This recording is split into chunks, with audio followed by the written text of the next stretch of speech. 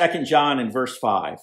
The Bible says, Now I beseech thee, lady, not as though I wrote a new commandment unto thee, but that which we had from the beginning, that we love one another. And this is love that we walk after his commandments. This is the commandment that as ye have heard from the beginning, ye should walk in it. For many deceivers are entered into the world who confess not that Jesus Christ is come in the flesh. And this is a deceiver and an antichrist. Look to yourselves that we lose not those things which we have wrought, but that we receive a full reward.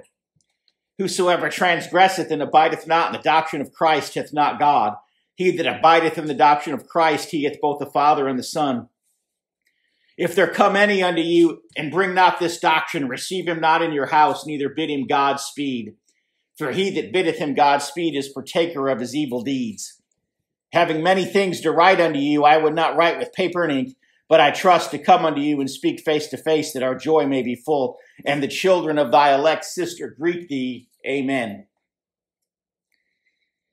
And so we saw again and again in our study of First John that there were three tests or three evidences of true Christianity. There was a doctrinal test.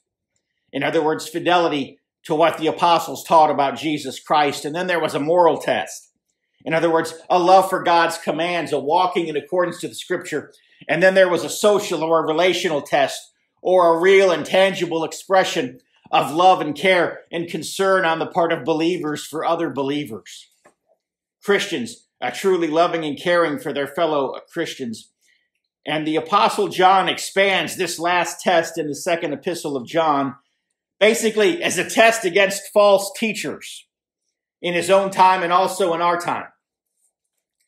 In verses 5 and 6, he talks about the moral test of love and obedience. In verses 7 through 11, he talks about the doctrinal test and what the church believes about the person and work of Jesus Christ. In verses 12 and 13, he goes back to that issue of fellowship, of mutual love and expression and concern for one another. And so, if you remember last week, John started the book in verse 1. He addressed what he was writing to the elect lady. And so, here in verse 5, he says, And now I beseech thee, lady. Of course, the lady being the church at Ephesus. And now I beseech thee, lady, not as though I wrote a new commandment unto thee, but that which we from had from the beginning that we love one another. And this is love, that we walk after his commandments. This is the commandment that ye have heard from the beginning, ye should walk in it. And so John is calling us not to a new commandment, but to obey an old one. And that's to love one another, an exhortation to real Christian love and an explanation of the relation of love and law in the Christian life. And he's speaking about love and he relates it to the law. He says it's the law of love. He says it's, a, it's not a new commandment, it's an old one. He's saying that, that love is the law. And he gives an exhortation in verses 5 and 6 to a real, genuine Christian love and he says that love and obedience are the Christian life. And John is speaking to an issue that is a real issue for Christians today because so many people today believe that Christianity is not a call to obedient discipleship. But people think that Christianity is just supposed to be freedom from the law, freedom from obligation, you know, because we live under grace, we don't have to worry about the law. And if anybody tries to put anything like rules in the Christian life, they're just called a legalist. They're, you know. Um, but what John is telling us is that love and the law are the two elements of the Christian life. And specifically, he tells us to obey what he calls the command of love, and that is not a contradiction. And he tells us that as he, as he tells us to obey this commandment of love, he reminds us it's not a new commandment. In other words, John didn't invent the commandment to love one another. It came from Jesus. And even when Jesus gave it, he said, this is not a new commandment. Jesus was simply taking something that Moses had already taught because Moses had taught us to love one another. Moses had already emphasized that we love our neighbor as ourselves. And so in the upper room, when Jesus said, A new commandment I give unto you that you love one another, he was actually referencing Moses.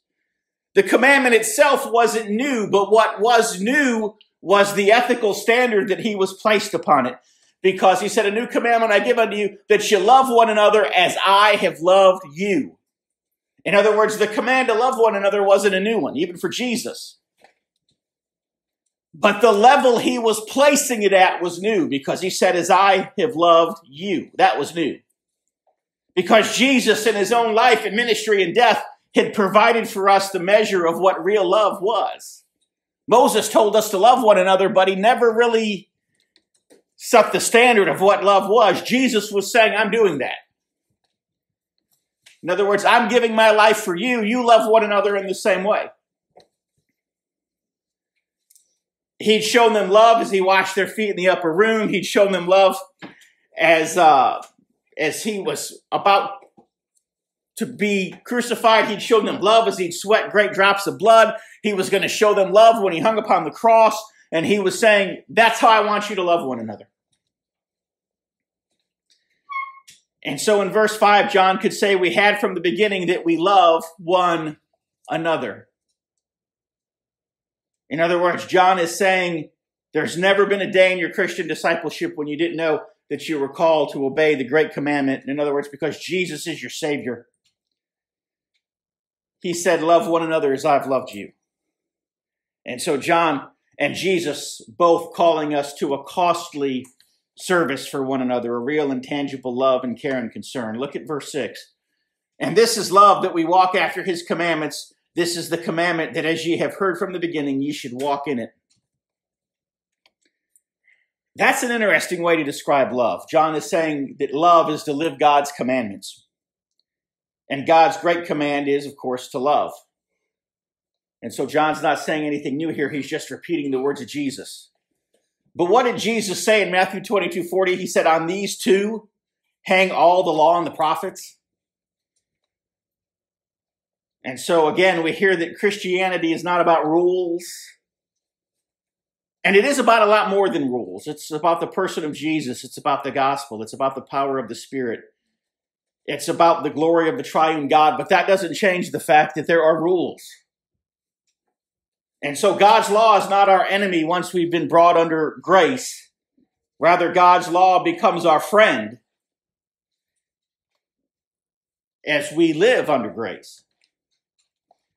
And so Christianity is not just about rules, but to just say, oh, Christianity is not about rules doesn't do justice to the new commandment because love is actually one of the rules.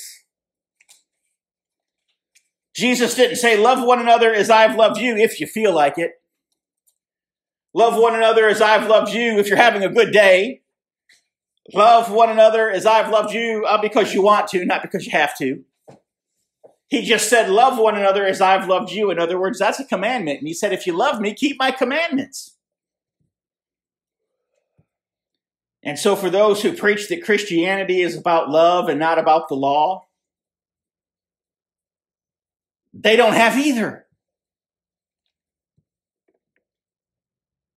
Because if you do away with the law, there's no basis for love. Remember, we talked about that last week, the week before, that truth is the basis of love.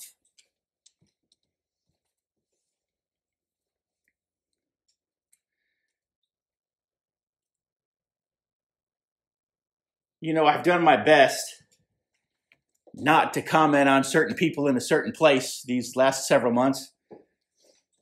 But there's a reason why the self proclaimed leadership of a place whose name I will not mention cannot even give testimony of their own salvation, let alone lead anybody else to Jesus.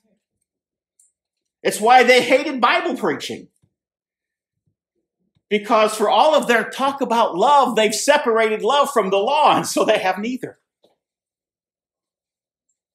Love is the law, and the law is love. You can't separate those two. And to do that is to preach a false gospel.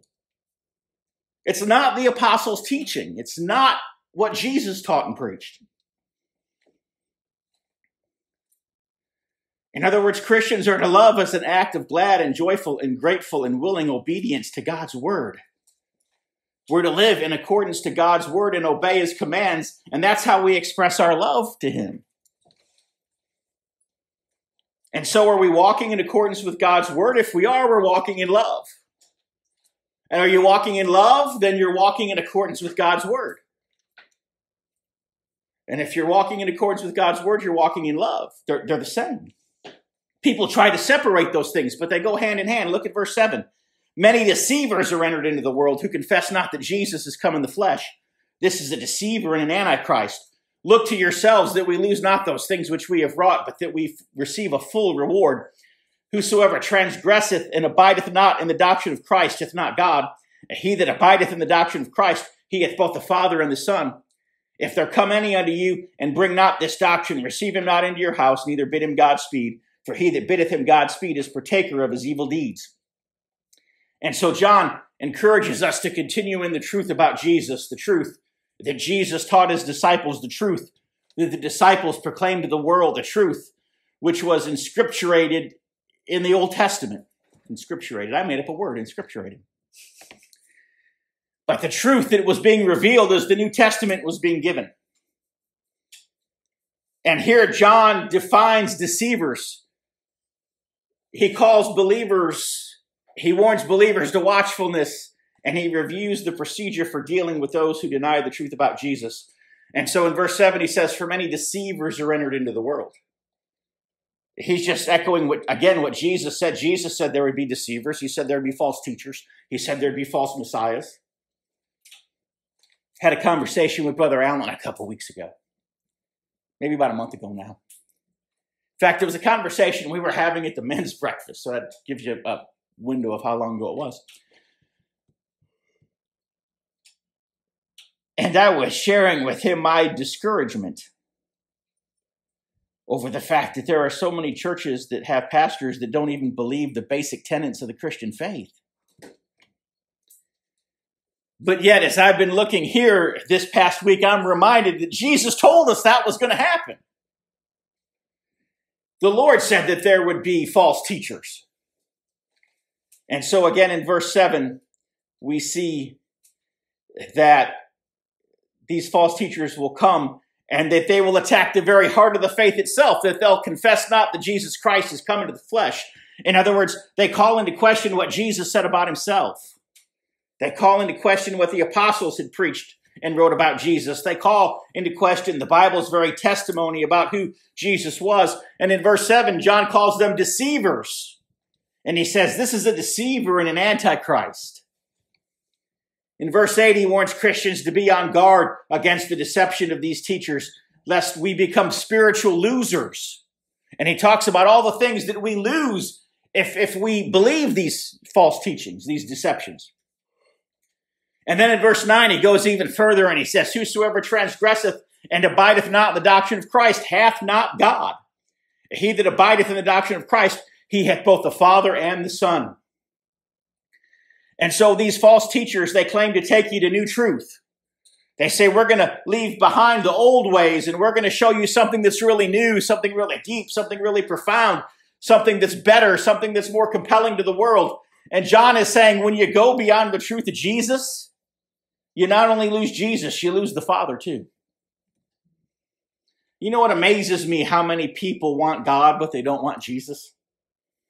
They want a spiritual blessing, but they want to find it in another way other than in Jesus. And so John is saying you cannot have the Father apart from the Son. And it's not just Jesus, or not just John saying it, Jesus had said it. Remember, Jesus said, I am the way. I am the truth. I am the life, and no man comes to the Father but by me.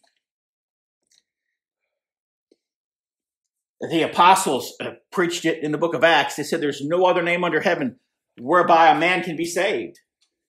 In other words, they weren't making up some narrow minded, bigoted exclusivism. They were simply repeating what Jesus had taught them. And so John says, You move past that, guess what? You move right past Christianity itself and you haven't found God, you've lost God because Jesus is the only way to God. Unless you think that Gnosticism was a first century thing. Say, well, yeah, John was talking about a first century heresy. Nobody preaches that stuff anymore. Have you ever heard of the Jesus Seminar? Or that fatso Pentecostal preacher on TV, John Hagee? I heard John Hagee, the last time I heard John Hagee preach, he literally said that Jews will be saved without the Messiah. He said that, that the Jews can come to the Father without Jesus, that they can reject Jesus as Messiah, but be a faithful Jew and still be saved. And so the same heresy that was being preached in John's day is being preached on television today. Joel Osteen, I heard him on CNN years ago. He told Larry King, he said that he believed that people didn't need Jesus to be saved. Larry King asked him point blank if a person can go to heaven without accepting Jesus or if they had to accept Jesus. It was a point blank question from Larry King. And Joel Osteen said something to the effect of, well, if they live a good life, then, then, you know, yeah, God will accept them. So again, that first century heresy being preached on American television. Franklin Graham has been accused of preaching the same. Now, I've not heard Franklin Graham say that, so I'm not going to lay that accusation on him, but I am going to say I have heard that he has said similar things. Maybe he has, maybe he hasn't. George W. Bush, I did hear him say on television that one can be saved without believing the gospel. That was in the 2004 presidential debate, but Bush is an Episcopalian, so we'll give him a pass. Jimmy Carter, Al Gore, Bill Clinton, they were all Southern Baptists. They should have known better. But yet they've all proclaimed salvation without Jesus. And in fact, Al Gore, Bill Clinton, and Jimmy Carter are all alumni of the Jesus Seminar. And so John is speaking about precisely what the Jesus Seminar is teaching that Christianity is not the only way. The, the Jesus Seminar teaches that the Christian church invented a Jesus who was different from the original Jesus. And, and I'm sorry, but the Jesus Seminar doesn't know more about the original Jesus than the apostle who leaned on his breast during the Last Supper did. Or the apostles who lived with him for three and a half years, who wrote down everything that he said the people who worshiped him and ultimately gave their lives for him. I'm sorry, Al Gore, but Jesus was not an inspiring prophet who taught us to protect the environment and join the Sierra Club. He was the only way to the Father. He was the living God in the flesh.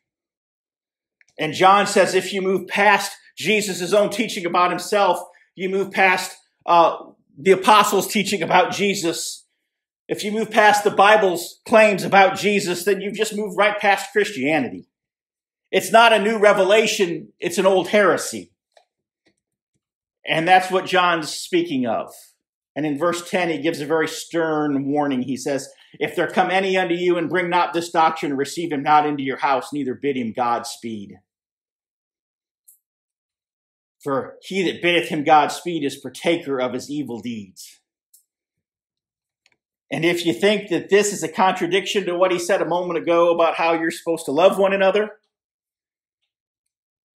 as Christians, we can have fellowship with Christians that we have disagreements with because we have a commonality in Jesus, but you don't have fellowship with those who deny Jesus. And so they're not fellow believers. There's no basis for love there. Again, truth is the foundation of love. And so John's saying, don't even let them into your house. He's saying, don't even have fellowship with them. Don't even eat with them. In verse 12, having many things to write unto you, I would not write with paper and ink, but I trust to come unto you and speak face to face that our joy may be full. The children of thy elect sister greet thee. Amen. And so John ends with an exhortation, a concluding remark about the importance of corporate Christian fellowship. He reminds us that the fullness of joy is experienced only as we fellowship with other believers. And there was a lot that John could have written here. There was probably a lot that needed to be said, but he was hoping to know the joy of face to face fellowship with them. And he's like, you know what? I'll wait and I'll tell you when I'm with you. I actually wrote these notes uh, weeks ago. So Alan's going to listen to this later today or tomorrow, and he's going to think I'm digging at him, and I'm not. You know, so many people think they can just worship God on their own, that they don't need to come to church. And my favorite one through the years has always been that, well, I'm fishing or I'm out in nature and I'm communing with God. But John is reminding us that there's no experience of the fullness of joy in the Christian life without the fellowship of other believers, without gathering around the Lord's word on the Lord's day, without fellowshipping with one another, without encouraging one another to love and good works. That God intended us to grow in grace, but He didn't intend for us to do it apart from one another.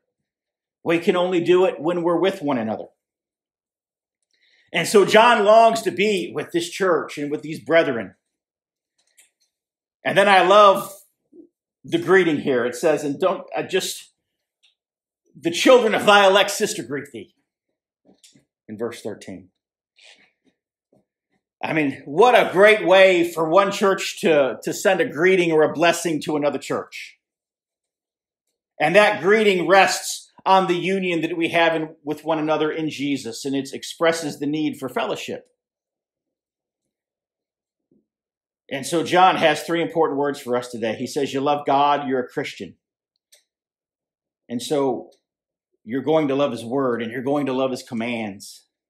And you're going to know that his commands are love and you're a Christian and you're going to love Jesus and not just the Jesus of men's opinions, not just the Jesus invented by this sect or that cult, not just Jesus reduced down to human proportions by brilliant scholars like they do in the Jesus seminar, but you're going to love the Jesus of the Bible, the Jesus of the Gospels you're a Christian, you're going to fellowship with other believers who believe that same Bible and who believe in that same Jesus and who want to live in accordance with that word and with his commands. And you're not going to have fullness of joy unless you're in fellowship with them. And so may God bless our fellowship today and our fellowship with one another. And Father, I just pray in Jesus' name that you'll bless our fellowship and that you'll bless the food that we're about to enjoy in fellowship together. And we ask it in Jesus' name. Amen.